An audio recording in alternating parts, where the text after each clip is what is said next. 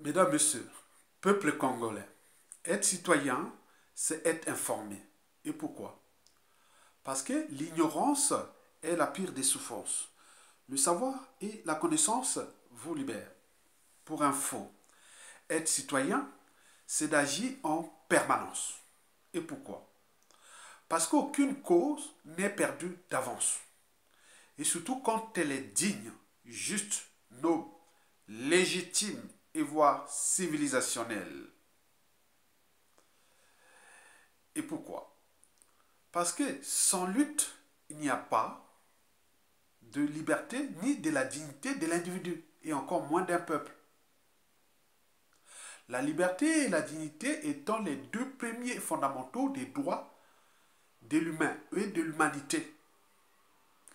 L'individu privé de liberté et de dignité, il devient soit un sujet, soit indigène ou esclave. Donc, la liberté et la dignité n'ont pas de prix. Donc, c'est la raison pour laquelle je vous informe que sans lutte, il n'y a pas de liberté ni de la dignité de l'individu et encore moins d'un peuple. Sans lutte, il n'y a pas de justice rendue à l'individu et encore moins à un peuple. Sans lutte, il n'y a pas de respect du but même de la condition humaine, sociale et existentielle. Sans lutte, il n'y a pas de paix et encore moins de progrès de l'individu et d'un peuple. Vous avez tout compris. C'est-à-dire, seule la lutte libère. Tant qu'à faire. Mesdames, Messieurs, peuple congolais, ceci dit, Idriss Déby,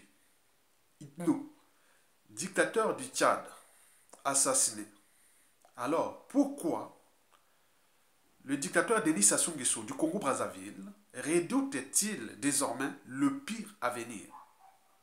C'est pour une simple raison l'Apocalypse 13, 10. C'est-à-dire, qui tue par le paix, périt par le paix. L'Apocalypse 13, 10. Qui tue par le paix, périt par le paix.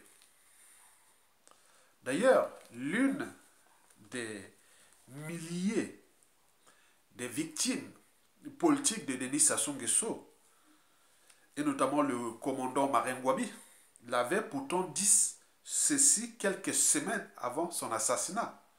Je cite, Quand le pays est sale et manque de tout, tu ne peux le rendre propre qu'en le lavant avec ton propre sang. La suite, on la connaît. Je répète, quand le pays est sale manque de tout, tu ne peux le, que le laver qu'avec ton propre sang. La suite, on la connaît. Mesdames, Messieurs, peuple congolais, il y a des signes qui ne trompent pas.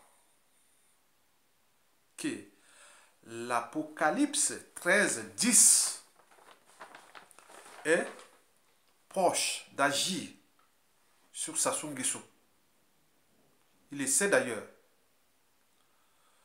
Parmi ces signes qui ne trompent pas, figure un sur toi le climat de méfiance ou de suspicion qui règne désormais au sein du clan et du parti au pouvoir, le Parti congolais du travail.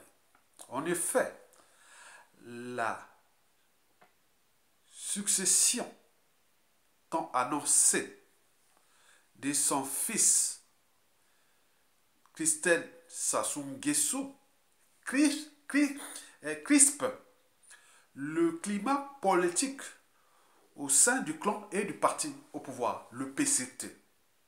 Je répète, la succession tant annoncée de son fils Christelle Sassou Nguesso crispe le climat politique au sein du clan et du PCT. Mesdames, Messieurs, peuple congolais. Deuxièmement, le régime est dans la panique. En effet, le dictateur vacille et le régime également. Certains de ces généraux travaillent en étroite collaboration avec l'étranger pour le coup fatal. D'ailleurs, le siècle restreint du dictateur Denis Sassou Nguesso travaille en étroite collaboration avec les réseaux externes en toute discrétion. Ce n'est plus le secret de Polichinelle, non, tout le monde le sait. Mesdames, Messieurs, peuple congolais. Enfin, troisièmement, fragilisé par l'assassinat du début du Tchad, son ami euh, de Kuba et coup tordu en Centrafrique, Denis Sassou Nguesso redoute désormais le pire par la France-Afrique. La trahison est certaine. Et pourquoi? L'assassinat troublant de Guy Brice Parfait Kolela a d'une part révélé les divisions au sein du régime et d'autre part le climat désormais de défiance de l'Élysée vis-à-vis de Denis Sassou Nguesso. C'est la raison pour laquelle il vient d'ailleurs de lever sa sécurité intérieure. Il a élevé sa sécurité intérieure. Et on, on a pu le constater que certains dignitaires cherchent à fuir. Mais non, il a dit non, vous quittez pas, vous restez là. On va mourir ensemble. Certains cherchent à, oui, ils ont dit envoyer leurs euh, enfants et autres à l'étranger, mais certains, euh, ils sont là, ils disent non, mais ils cherchent un moyen pour, pour sortir, mais c'est pas facile. Donc ils sont interdits.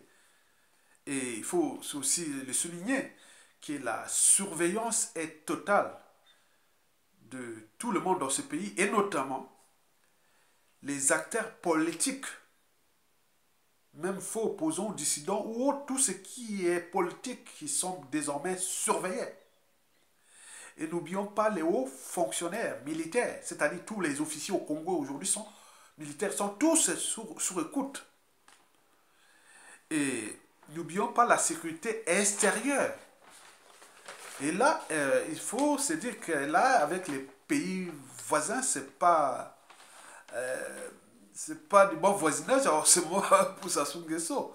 Donc, il a accru sa, la surveillance des, pays voisins, et notamment avec l'Angola, le Centrafrique, le Gabon et la RDC. Mesdames, Messieurs, peuple congolais, profitons des divisions au sein du clan et du parti au pouvoir, le PCT, le coup fatal contre Denis Sassou Nguesso sera soit France Afrique et ou géostratégique sous-régional. France Afrique, pourquoi? Parce qu'après l'assassinat de Déby, Denis Sassou Nguesso devient de plus en plus encombrant pour l'image de la France-Afrique. Parce que, bon ben, dans la sous-région d'Afrique centrale, l'unique dictateur qui est visible, il reste Sassou Nguesso, mais ce n'est pas, bon, pour l'image, ni de la France-Afrique, ni de la France. Donc c'est quelqu'un qui devient avarié, encombrant. Parce que quand on pense à Sassou Nguesso, on pense à des coups et coups tordus dans toute la sous-région. On pense à Sassou Nguesso, on pense à la France-Afrique, liberticide, antidémocratique, antisocial et criminogène. Donc Sassou porte le poids de la France-Afrique. Il faut se dire que Sassou Nguesso connaît beaucoup de la France-Afrique et inversement. Donc, le laisser en vie vous allez tous les coups bas et coups tordus qu'il a fait avec la France-Afrique depuis près de 40 ans, même 50 ans. Donc un individu comme ça ne peut pas se retrouver ni devant la justice de son peuple et encore moins à la CPI. Donc c'est quelqu'un à battre. Et donc ils ont déjà leur plan. Et donc Denis Sassou Nguesso, sous le plan de la justice, peut-être qu'on va dire, bon ben écoutez, on peut le prendre et les laisser... parce que la plupart des, des, Congolais cherchent la, la taper vivant. Mais est-ce qu'il aura l'occasion de le juger? Peut-être celle de l'insage ou de tout ce qui s'est passé. Hein? Ça, c'est possible. Mais juger Sassou Nguesso, vous rêvez. Donc, il va partir avec ses secrets, ses crimes et autres, et laisser ça au contentieux historique sur différentes échelles.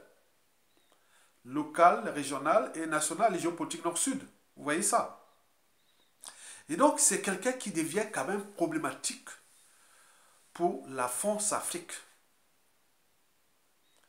Et par translation, aussi au sein du clan. Parce que ce monsieur va nous laisser vraiment de, de la merde, quoi. Au niveau régional, au niveau géopolitique nord-sud, au niveau de sa tribu et tout compagnie. Donc, c'est quelqu'un qu'on dit non, mais il ne sert plus à rien. Au 21e siècle, à l'ère d'Internet, des médias, réseaux sociaux, tout tourne en boucle, qui va laisser son image, son, son image à cause d'un être mortel qui n'est que du passage sur Terre, qui va partir. Un lâche, un et autre qui se protège et on voit les pétards aux uns aux autres. Il envoie la mort aux, uns aux autres. Il est l'incarnation euh, du monde des ténèbres parce que son monde n'est tourné que vers euh, euh, le crime, la mort et le pouvoir qu'il souhaite et, et, qu'il souhaite le transmettre à, son fils Denis Christel Sassou Nguesso, celui qui a volé le pétrole congolais, qu'au Congolais on parle de grand voleur, comme si on pouvait laisser la clé de, de, sa maison à un voleur. C'est pas possible. Donc, au point de vue de la France-Afrique, il ne sait plus comment s'en débarrasser de Denis Sassou. Parce que euh, les États n'ont que des intérêts. Il n'y a jamais d'amis ni d'ennemis permanents entre États. Il n'y a que les intérêts permanents.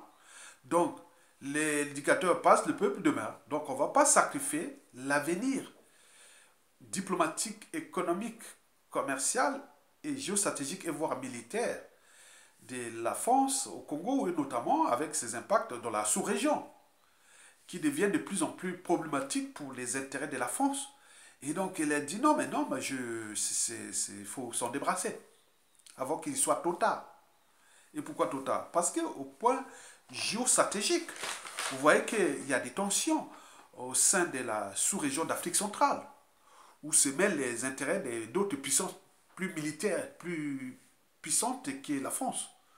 Je vais ici parler des Américains, des Chinois, des, des Russes et de tous ces enjeux. Et donc, il faut vraiment euh, passer des pas comme la vie à bicyclette pour garder l'équilibre, pour avancer.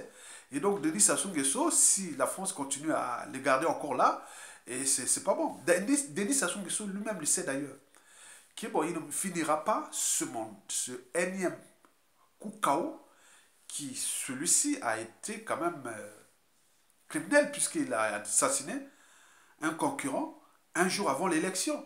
Et ces institutions auraient pu être appliquées. Il n'a même pas appliqué ça. Bien entendu, c'est l'ADN de la France-Afrique. Et qui pose bien des soucis aussi à elle-même, puisque le monde a changé et beaucoup ailleurs ont dit non, mais c'est pas possible.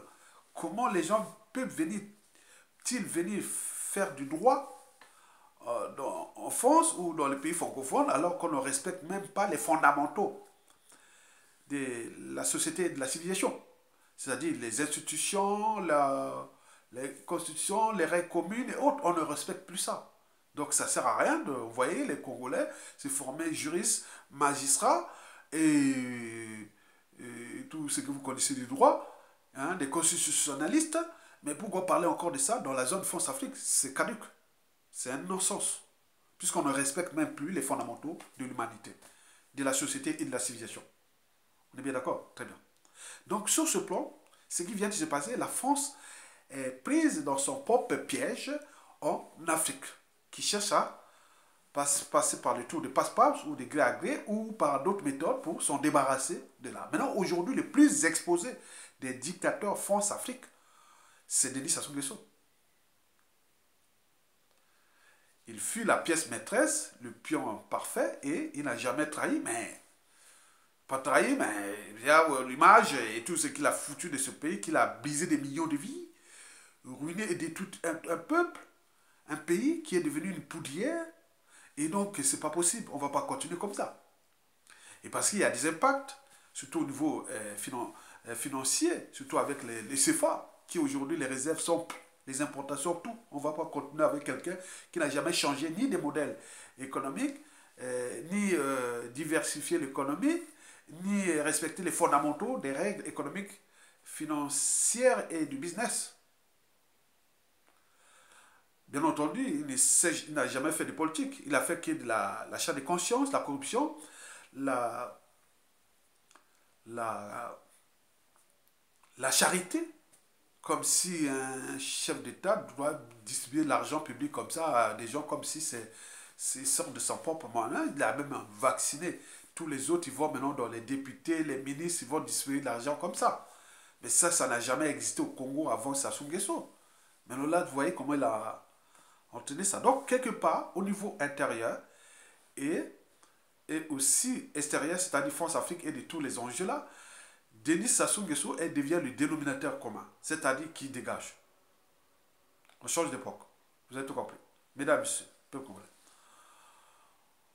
Enfin, fragilisé par l'assassinat du, débit du Tchad, Denis Sassou Nguesso redoute le pire par la France-Afrique et la trahison est certaine. Et pourquoi?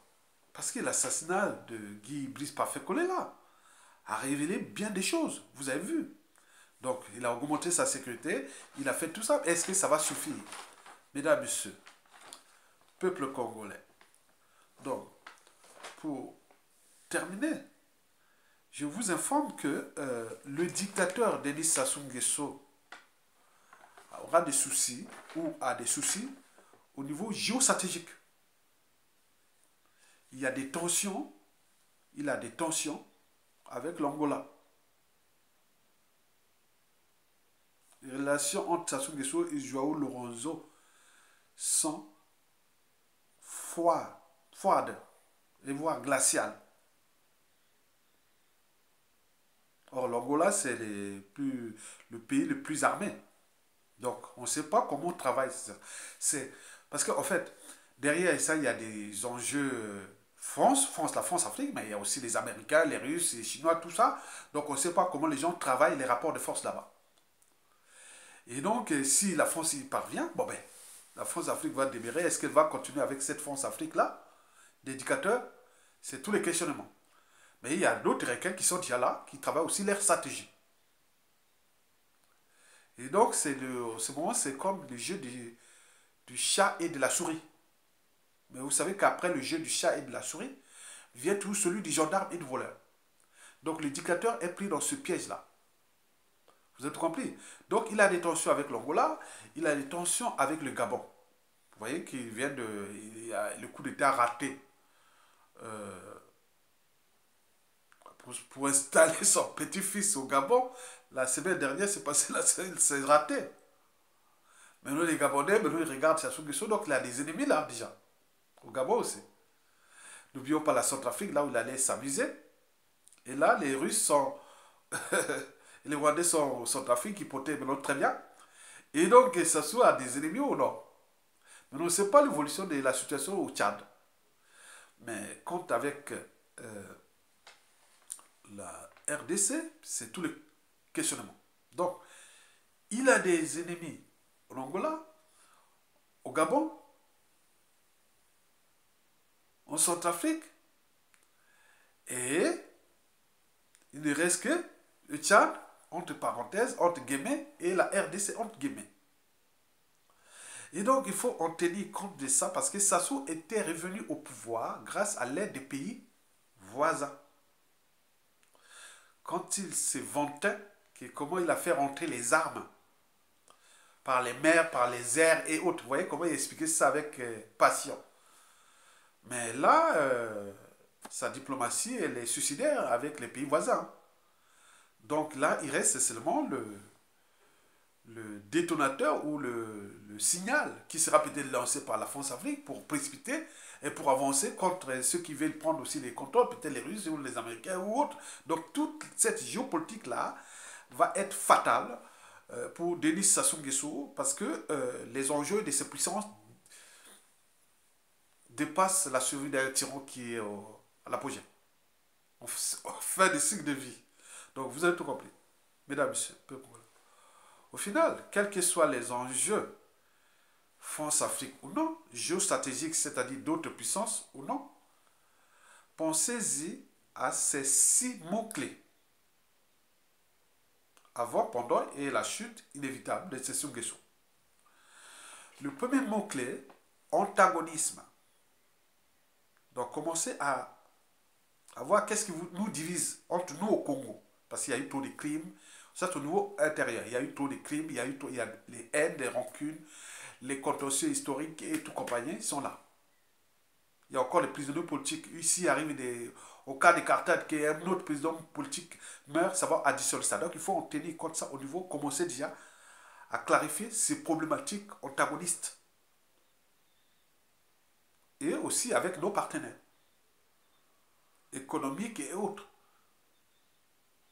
Donc, il faut commencer déjà à penser à ces problématiques qui sont des antagonistes. De ces antagonistes arrive le deuxième mot-clé, qui est le positionnement. Que ce soit au pays ou à l'étranger, il faut que le positionnement soit clair.